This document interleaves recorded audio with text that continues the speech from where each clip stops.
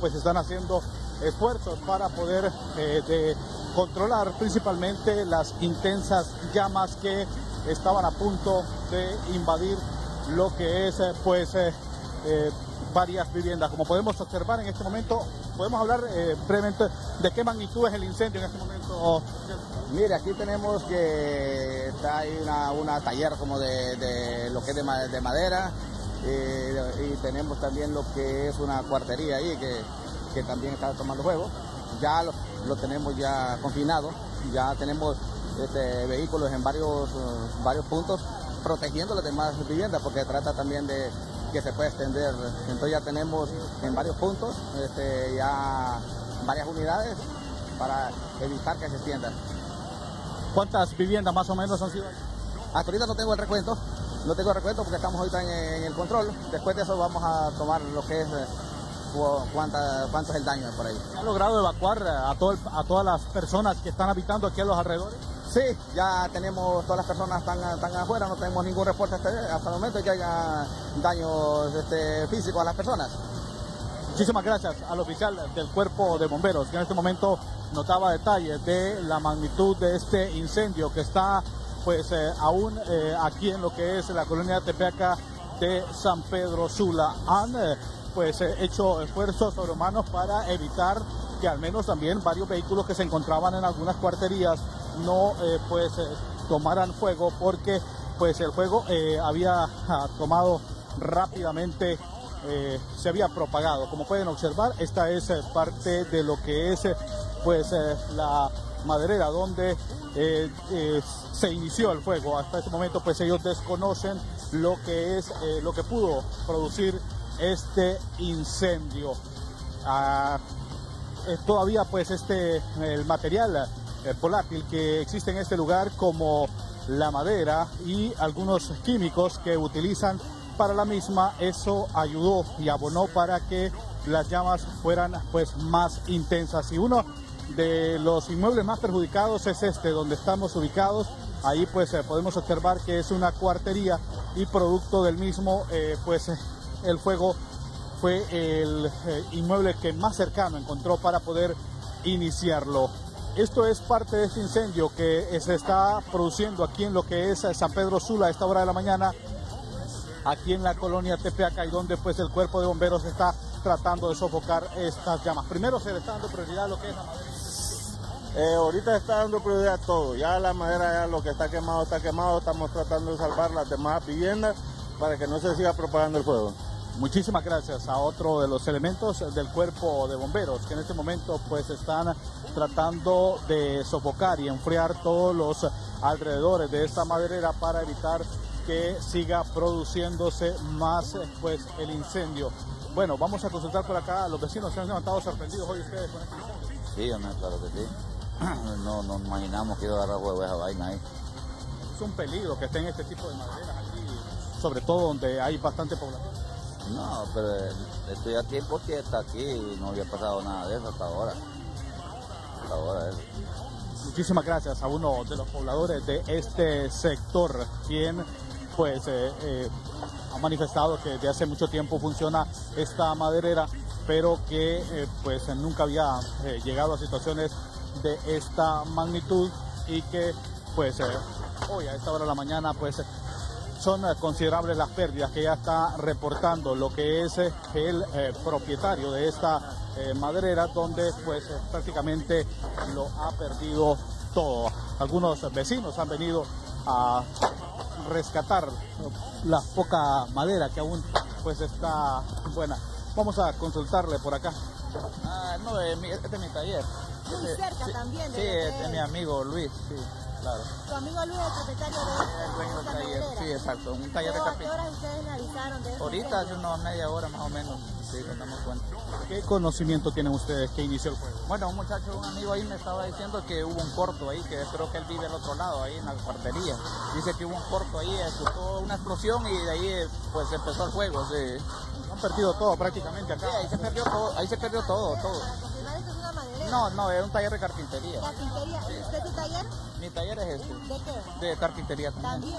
Bien, muchísimas gracias. Es uno de los eh, también eh, propietarios de uno de los eh, locales acá donde pues están eh, en este momento el cuerpo de bomberos sofocando. Era un taller de carpintería donde pues en gran medida ellos estaban pues eh, elaborando productos, producto de eso pues eh, la madera ha tomado fuego y habría sido pues un corto circuito según el relato inicial del cuerpo de bomberos. Esto es lo que está pasando a esta hora de la mañana aquí en la colonia Tepeaca de San Pedro Sula, donde ya el cuerpo de bomberos se ha dedicado a lo que es enfriar los eh, inmuebles que están en, en los alrededores, porque prácticamente ya nada se puede hacer en este sector.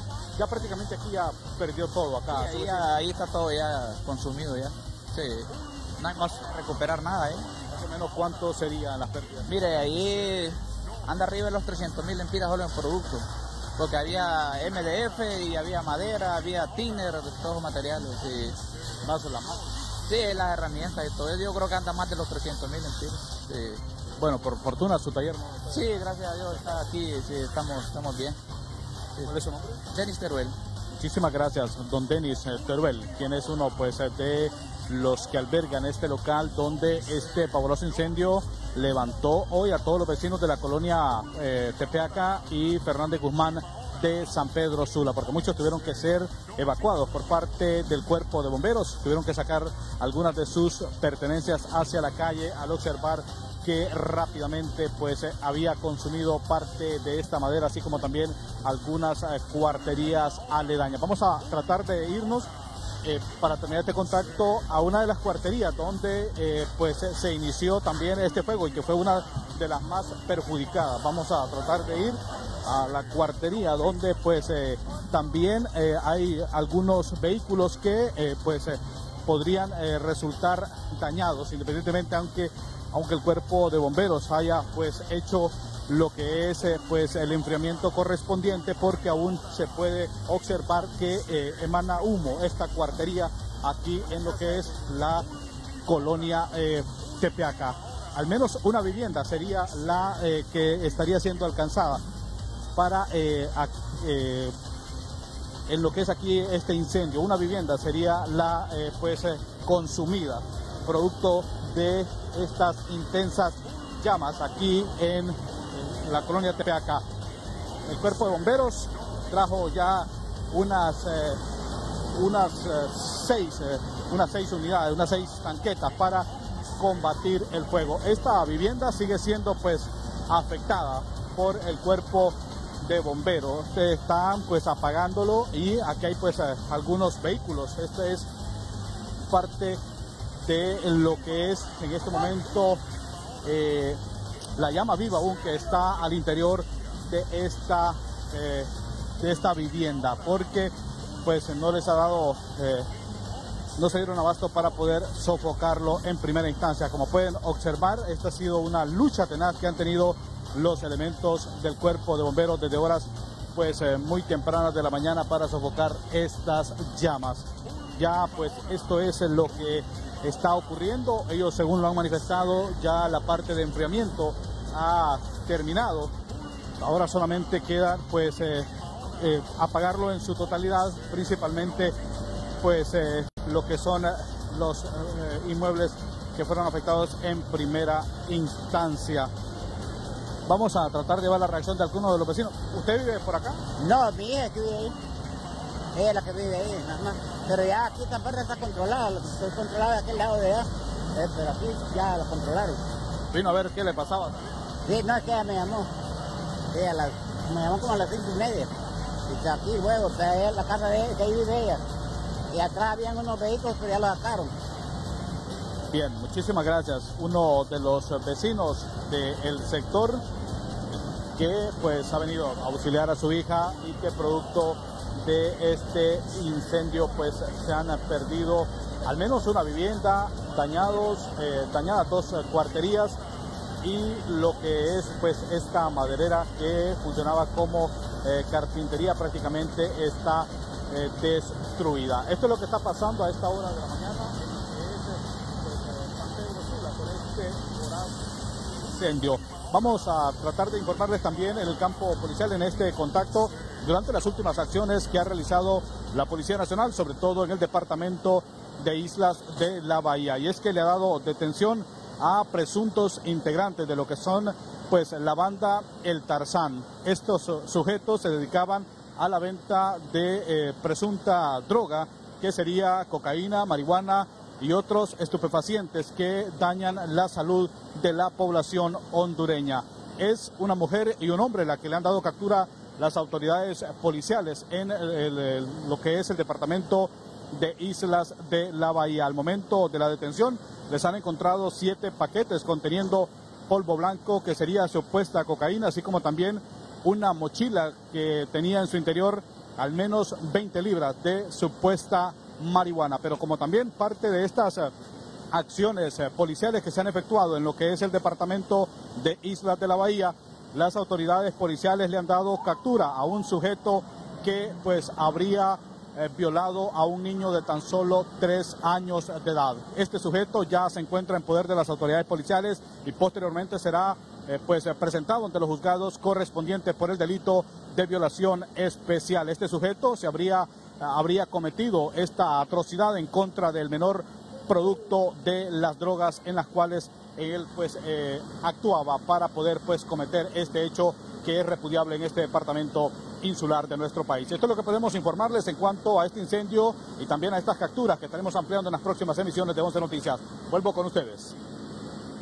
Bien, un supuesto cortocircuito es el que podría haber ocasionado este incendio en la colonia Tepeaca, donde ha sido quemada en su totalidad una carpintería y gracias a Dios pues no hubieron personas afectadas. Nosotros le brindaremos más detalles en las siguientes emisiones de 11 Noticias. Inmediato pasamos a conocer cuáles son las noticias más relevantes de la zona norte del país en el visor nocturno de San Pedro Sula.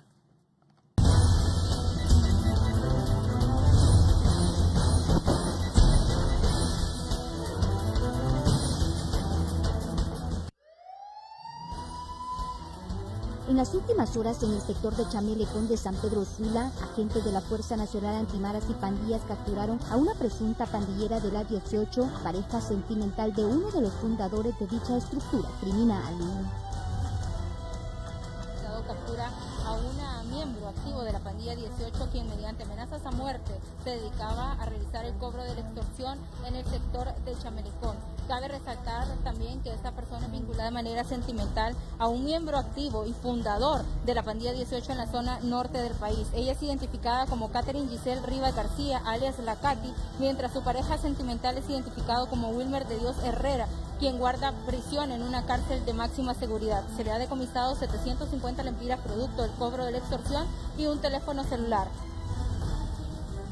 Mientras tanto, en el sector de San Antonio Cortés también fue capturado un presunto miembro de la estructura criminal MS vinculado al delito de extorsión. En otro operativo ha sido detenido un joven de 23 años identificado como José Edwin Castro Alcántara, alias El Guato, quien según las investigaciones era el encargado de estructurar la Mara MS-13 en el sector de San Antonio Cortés. Esta persona es vinculada de manera directa también al ilícito de extorsión mediante amenazas a muerte, extorsionaba a los ciudadanos de ese sector. Al momento de su captura se le ha decomisado 300 lempiras producto del cobro de la extorsión y un teléfono celular. En horas de la noche ingresó a la morgue del Ministerio Público el cadáver del joven de 24 años de edad que decidió quitarse la vida en el mirador de Omoa Cortés. Se trata de Suami García, quien se infirió un disparo en la cabeza supuestamente por el amor de una mujer. Para 11 Noticias, Iris Urbina.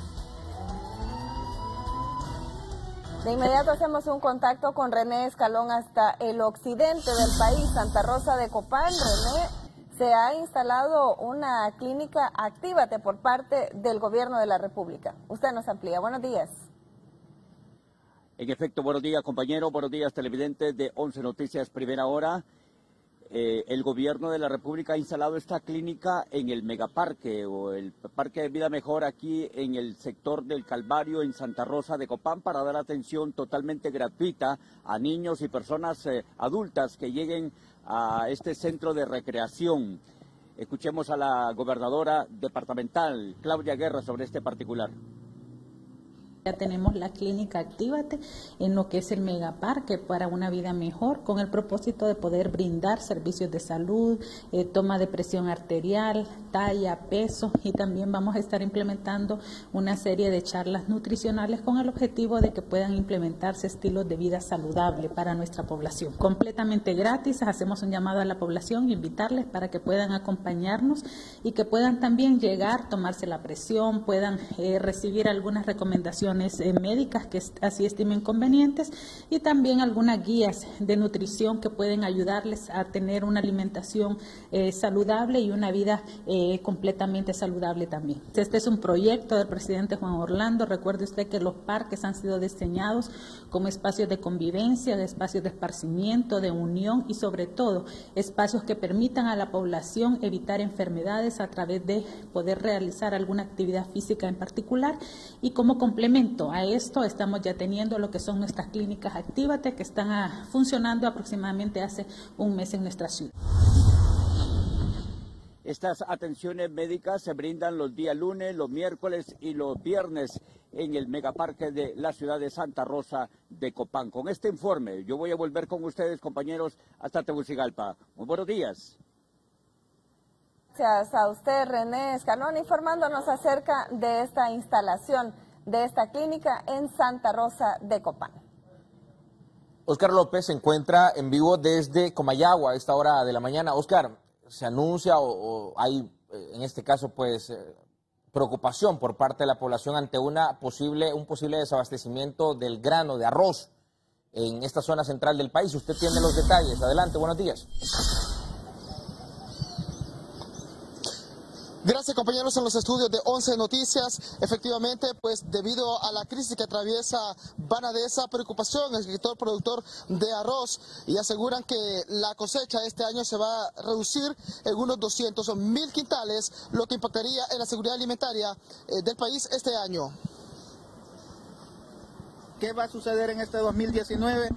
Si el año pasado hubo una, una, producción de más o menos un millón 100 mil, 200 mil quintales, en este 2019 puede bajar a un millón y no menor porque la gente está desmotivada por varios, por varias cosas. Una es el financiamiento, por ejemplo, con la situación que todo el mundo sabe lo que está ocurriendo con Banadesa, eh, viene el financiamiento que antes lo daba la agroindustria, en este momento han hecho un stop también, y no decimos que solo la agroindustria tiene el problema, sino que muchos de nuestros productores también han fallado a los acuerdos que, que se ha tenido con la gente de la agroindustria. Entonces, el, en, realidad que, la situación del, del arroz es triste y es lamentable, salvo que venga el presidente de la República y haga una, eh, una resolución con todo su equipo de asesor en la parte agrícola para poder resolver los problemas, de, problemas que tenemos de arroz. Si no, de 2024, 2025 para allá, todo el arroz que consumamos en Honduras va a ser importado.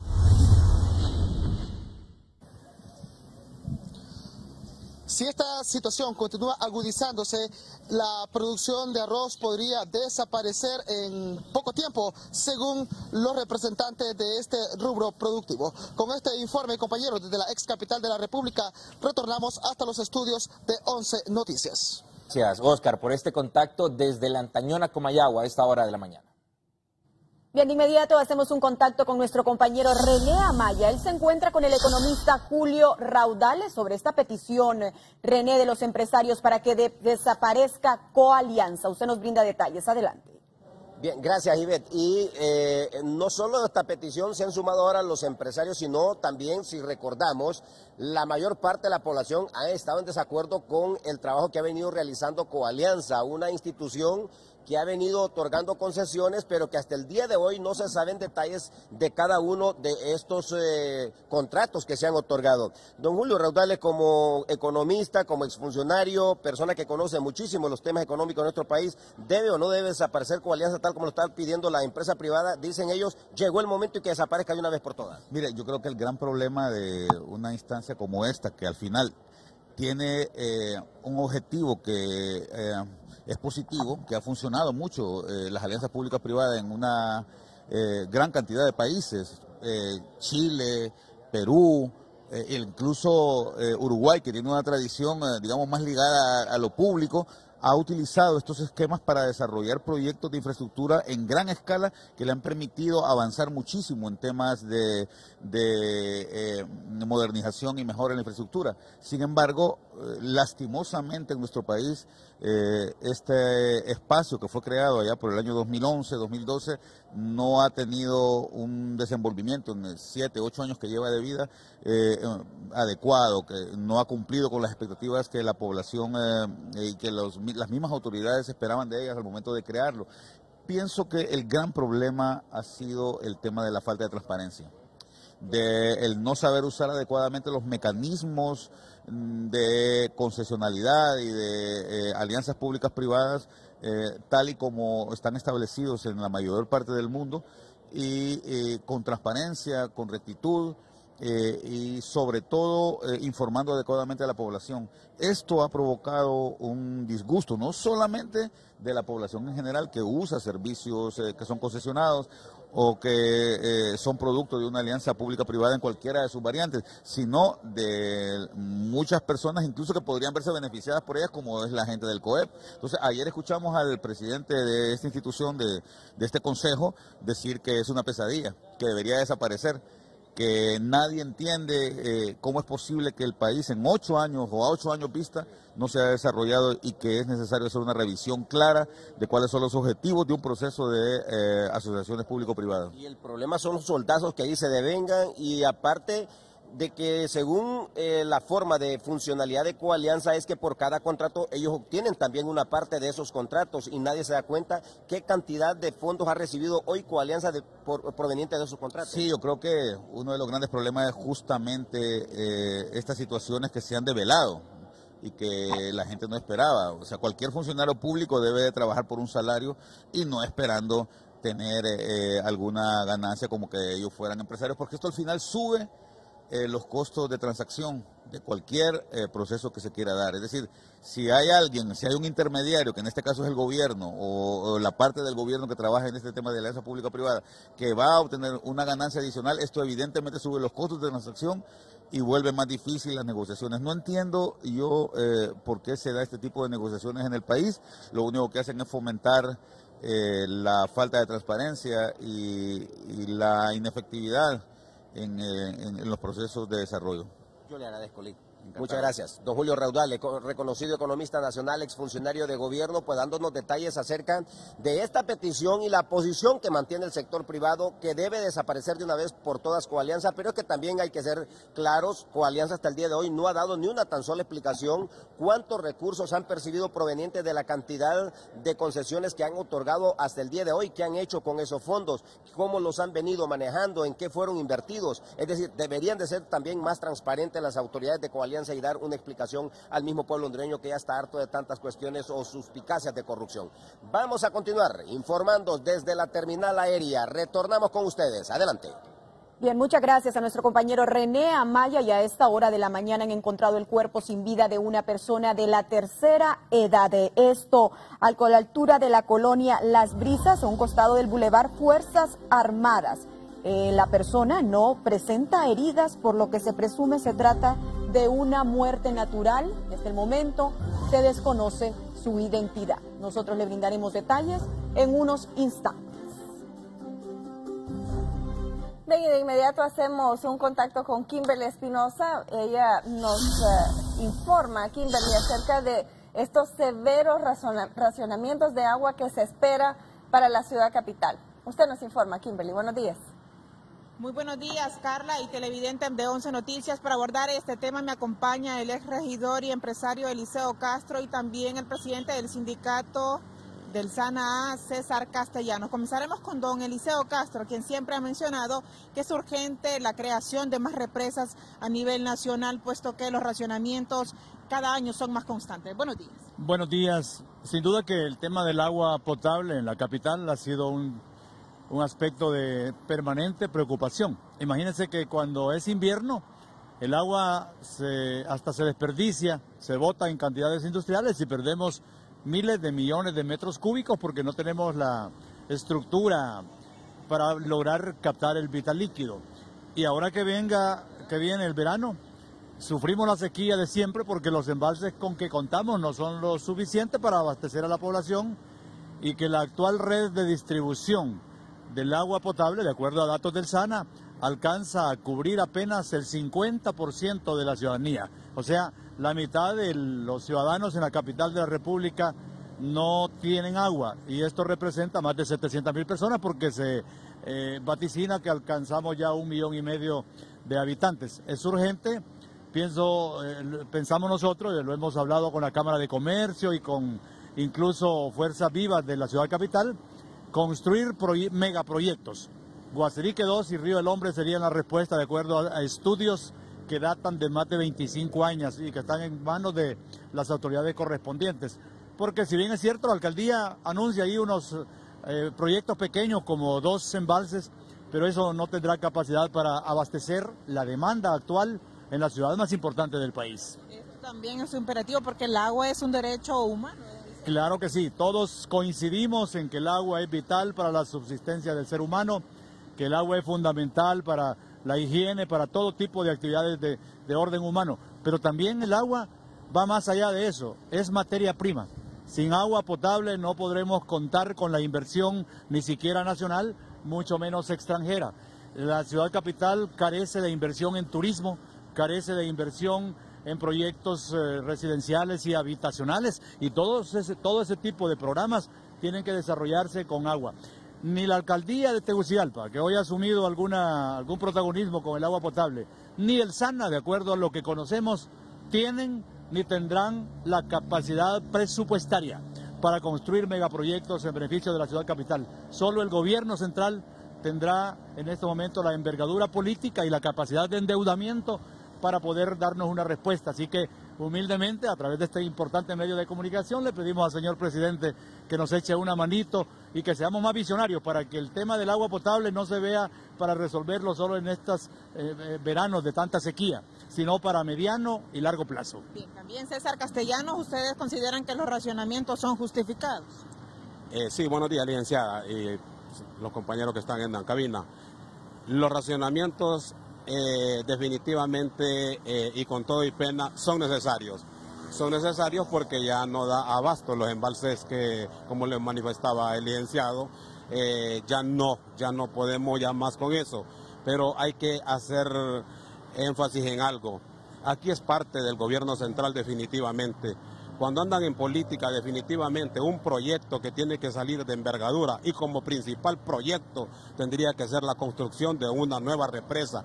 Ya es necesario que la capital se construya, por lo menos una buena represa, pero no que estemos porque ya viene el verano eh, saliendo como a apagar el juego inmediatamente, construyendo represas pequeñas que esas no son eh, para suplir a la necesidad y la gran demanda que tiene la población, que ha crecido definitivamente de una forma desordenada y es por ello de que en estos momentos hay colonias que solo se les sirve el acarreo por medio de los tanques. No le llega la cantidad suficiente por medio de tubería. Eh, es necesario y le solicitamos al gobierno central definitivamente de que tome cartas en el asunto, porque aquí el último proyecto que se generó de una fue el proyecto de la represa de Concepción desde 1992 que fue inaugurado este proyecto hasta la fecha. Imagínense cuánto llevamos de tiempo y no poder prever para la construcción de una nueva represa. muchísimas gracias a César Castellanos y también al empresario y regidor Eliseo Castro. Compañeros, con esta reporta yo vuelvo con ustedes a Estudios Centrales. Buen día. Yo no tengo miedo de mojarme el pelo. El cloro no me preocupa porque uso Pantene. Edición de verano Pantene. Su fórmula provitaminas penetra y retiene la hidratación, dejando tu pelo más fuerte. Y con mi pelo Pantene no hay nada que me detenga. Edición de verano Pantene, porque fuerza es belleza. Cuida tu colon con Botánica Worst Colon, un producto europeo 100% limpia profundamente las toxinas que contaminan tu intestino. Elimina las molestias asociadas a la colitis, el estreñimiento y el mal aliento. Botánica Worst Colon, un novedoso sistema en tres etapas en un solo producto. Fase 1, limpieza. Fase 2, regulación tránsito. Fase 3, pre y probióticos. Tu salud te lo agradecerá. De venta en farmacias en todo Honduras. ¿En tu vida pensás ser presidente?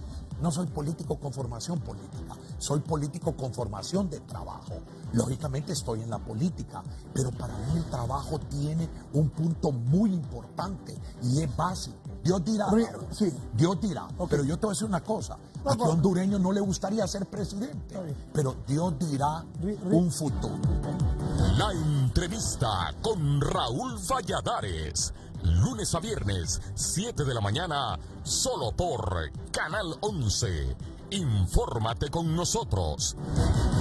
Abdogras es un producto incomparable para perder peso. Abdogras es diferente. Quema la grasa abdominal sin alterar el metabolismo, sin perturbar el sueño y sin riesgo de rebote.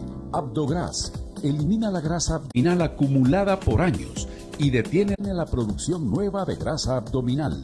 Bien dice la gente, Abdogras es incomparable. Abdogras, un producto europeo.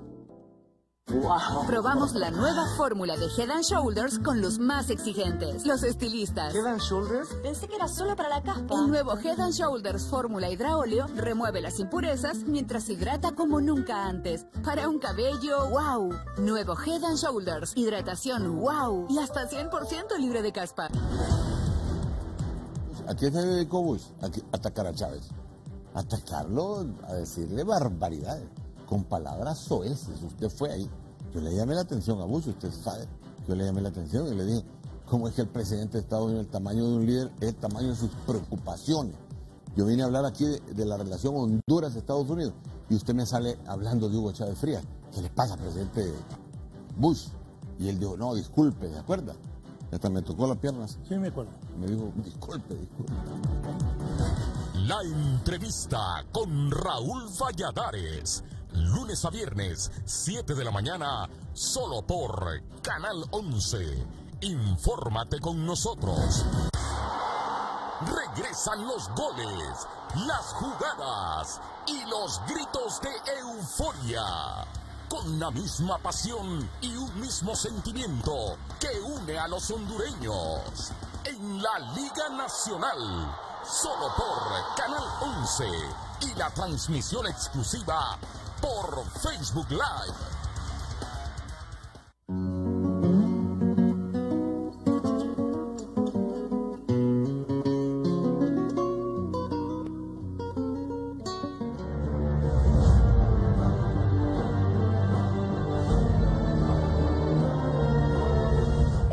1973, Canadá, Estados Unidos, Dinamarca, Noruega y ex Yugoslavia firmaron el acuerdo que cada 27 de febrero se celebre el Día Internacional del Oso Polar.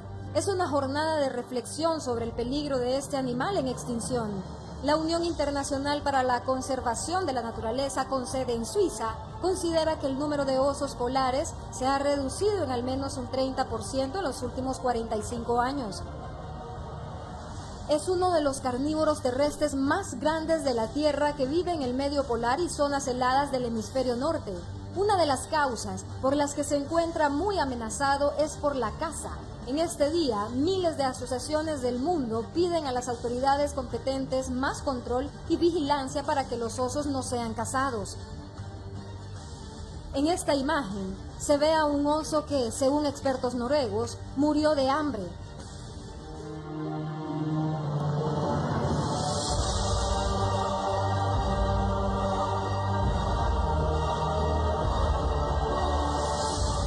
Esta es la triste realidad que viven muchos de ellos debido a la inconsciencia del ser humano, ya que sus actividades originan los problemas ambientales más impactantes del mundo, como la contaminación ambiental, el calentamiento global y el cambio climático.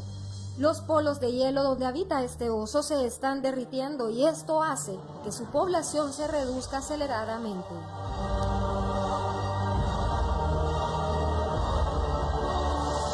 Leila Vendaña, 11 Noticias.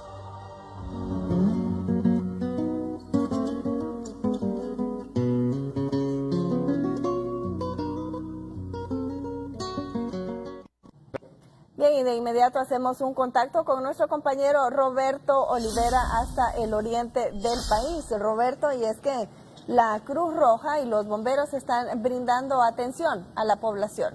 Usted nos informa. Buenos días.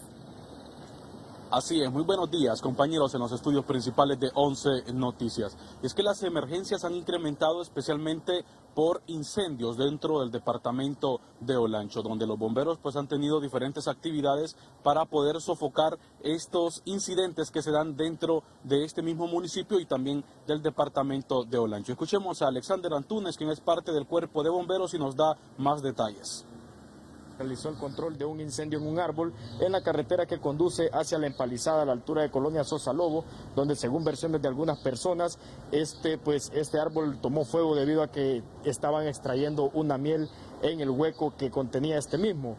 También el día de ayer eh, a las 14.30 se nos informó de un incendio en vivienda en Colonia El Recreo, por lo que inmediato desplazamos dos unidades contra incendios y el personal, donde al llegar al lugar se comprobó dicho incendio, procediendo de inmediato a realizar labores de extinción en la vivienda de la señora Blanca Lidia Calix, de 44 años, donde eh, la vivienda pues era construcción, una parte de madera y otra de bloque y concreto logrando salvar un aproximado de 30% de dicha vivienda y sus enseres domésticos. También cabe destacar de que se logró salvar dos viviendas aledañas, eh, evitando de que el fuego se propagara a las mismas, siendo propiedad de los señores Olvin Mejía y Luis Ávila. También se realizó el control de un incendio en Zacatera, en Colonia El Campo Marte, eh, pues en un solar baldío, donde se evitó de que el... Estas son algunas de las actividades que ha realizado el cuerpo de bomberos dentro de la ciudad de Juticalpa y también del departamento de Olancho, donde se asistieron diferentes emergencias, especialmente de incendio en este mismo departamento. Con esta información regresamos con ustedes a los estudios principales, a la capital. Buenos días. Buenos días a usted, Roberto Olivera, desde el oriente del país, informándonos acerca de actividades del cuerpo de bomberos. Vamos con nuestra compañera en este momento Gisela Calix, Nilda Sosa nos da a conocer detalles sobre una escuela que ha sido intervenida por parte de la Agencia Técnica de Investigación Criminal. Nilda, usted tiene detalles, adelante. Gracias, Marlon. Compañeros en estudios y televidentes, así es. Luego de la operación Odiseo, se han intervenido centros educativos en Choluteca, tanto eh, de instituciones ya como escuelas. En este caso, vamos a escuchar al director de la escuela, Tomás Pinel de Benedetto, que dice acerca de esta intervención realizada por la ATIC y el Ministerio Público. Tenemos la visita de la ATIC, donde estamos solicitando toda la documentación de la papelería desde el 2017 que nosotros somos administradores a partir del mes de abril. Eh, nosotros hemos iniciado con la presentación desde el proceso del cambio de lo que es la cuenta. Acuérdense que en la escuela Tomasa antes estaba la cuenta a nombre de profesores, pero a partir de nuestra fecha nosotros lo primero que hicimos fue aperturar la cuenta a nombre de un banco del Estado, como dice la, ley y el reglamento, y lo hicimos en Banadesa. Luego nos han pedido también el informe de lo que es la actividad de Mocuanes, de los ingresos y los egresos, eh, lo que son compras de materiales y equipos de la Escuela Tomás. Están investigando precisamente mi periodo y quiero destacar que en años anteriores nunca se ha liquidado la Escuela Tomasa. Quien ha liquidado somos nosotros desde el mes de abril porque acuérdese que nuestra administración es tripartita, no solamente nosotros. La cuenta de la escuela o todo movimiento de la escuela que usted ha estado de cerca, de muy de cerca, está representación de los padres de familia, representación de los docentes y la representación de la parte administrativa que soy yo. Esta ha sido la explicación eh, de quien eh, fungió como director de esta escuela. Asimismo, el INTAE Sur también ha sido intervenido. Su nueva directora y también padres de familia avalan este tipo de intervenciones, aseguran, porque en administraciones pasadas pues no se ha hecho un buen trabajo. Este es nuestro reporte, compañeros. Buenos días. Gracias, Nilda. Buenos días también a usted. Gracias por este reporte desde la zona sur del país. Y a casi un mes del inicio de clases, eh, los docentes esperan que la Secretaría de Educación brinde más apoyo a los centros educativos. Gracias, compañeros. En efecto, buenos días. Y como ustedes lo han mencionado, pues eh, la Secretaría de Educación debe brindar más apoyo y solucionar algunas problemáticas que se están dando todavía en los centros educativos. Franklin eh, Padilla, con Prosuman, eso es lo que están solicitando ustedes. Ya prácticamente se dio el mes, por decirlo así, de espera a la Secretaría. En efecto, eh, queremos nosotros agradecerle, César, a Canal 11 y a ustedes, tu equipo, para poder dándole seguimiento a todas las noticias y a lo que ocurre en el país, especialmente en el campo educativo. Y esos compromisos que hacen los funcionarios, especialmente el ministro de Educación y el presidente de la República, era que este año eh, íbamos a empezar o a trabajar con la creación de las mesas técnicas y ir resolviendo los grandes problemas en educación, pero ni los primordiales que nosotros enfatizamos, la falta de infraestructura, la falta de pupitres, la falta de materiales eh, didácticos, eh, ni siquiera lo que es el cumplimiento al salario de los profesores se ha podido lograr y nosotros creemos entonces que estas cosas eh, no, las, no, le, no le dejamos una ilusión a la sociedad porque esa ilusión defrauda y el magisterio hoy por hoy y la población, los educandos necesitan que las acciones se hagan al pie del día y que mejoren para que el país pueda salir adelante. Pero si las cosas no se hacen con eficacia, con eficiencia, no vamos a resolver el problema educativo y los más de hoy por hoy de 100 años de atraso en el campo educativo. ¿Cuál sería el principal problema a resolver ya eh, prácticamente iniciando este mes de marzo? Bueno, nosotros eh, urgimos de que se invierta en la infraestructura escolar sin eh, identificar que este sí, que este no, porque todos los centros educativos a nivel nacional tienen problemas, no solamente los urbanos y también los, rurales. Por otra parte, el material didáctico, y la estabilidad laboral de los docentes que hoy por hoy anda arriba del 60% en los interinos y que no les pagan el salario a tiempo. Gracias. Eh, Franklin Padilla del Colprosuma sobre la situación que están viviendo en el sistema educativo nacional. Compañero, la información que tenemos desde esta ciudad de La Ceiba. Vamos a hacer una pausa comercial. Al retorno hay más en 11 Noticias. La pasión es dedicación. Es lo que nos hace alcanzar cosas que creíamos imposibles. Es derribar las barreras con garra y valentía. Es el pase largo que pone a sudar al más respetado, pero aún más, el gol que nos acerca al mundial. ¿Quieres saber qué es la verdadera pasión? Es la H en mi pecho. Ponete la camisa que hace la tira más de 8 millones de corazones, porque la pasión se siente, la pasión se viste. Yusa, la tienda oficial de la selección nacional. Bueno, hace cinco años y medio me, miré en una situación bien difícil, sobre todo económicamente, que no había para dónde agarrar. Y ese día eh, no tenía pues, absolutamente nada para comprar nada, honestamente se lo digo así. Y me encontré unas piedritas muy bonitas. Y dije yo, ¿qué hago con estas piedras? Yo jugando así con entre las manos, aquellas, piedras. Y después me busqué una navaja y comencé a hacer un tipo de, de maceterita, por decir algo y para un cliente ese día y me dice, ¿qué cosa es eso? Pues no sé, ¿cómo la mide usted? Entonces me dice, me parecen bien, vendémelas, ¿cuánto? Me parece que en ese tiempo la di como en 10, 15 lempiras piececitas. Entonces me dice como unos 60, 75 lempiras de día y por ahí me fui metiendo este tipo de, la, de las piedras. En Honduras tenemos muchísimas riquezas y, y tenemos la ventaja de que en la naturaleza hay muchas cosas que las podemos aprovechar.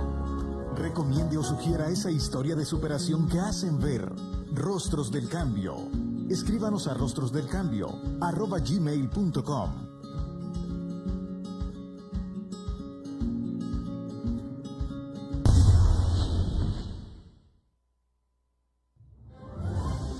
Estas son imágenes que le mostramos gracias a la Alianza Informativa Latinoamericana. Por segunda ocasión, estos dos líderes mundiales estrechan su mano, Kim Jong-un el representante, el máximo representante de Corea del Norte y el presidente de los Estados Unidos, Donald Trump, se han reunido en Hanoi, Vietnam, por segunda ocasión. La primera fue en Singapur.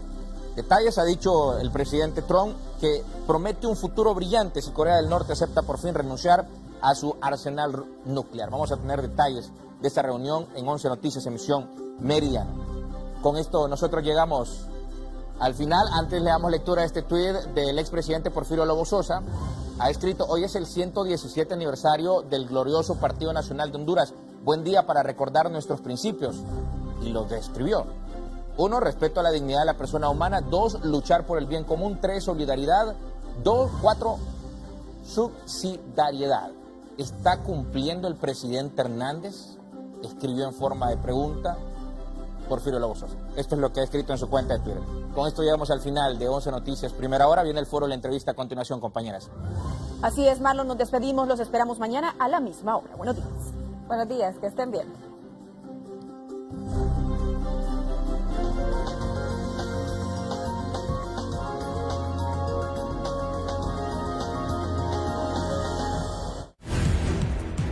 Bueno, la semana pasada di la noticia de que el 28 de junio lo apoya usted para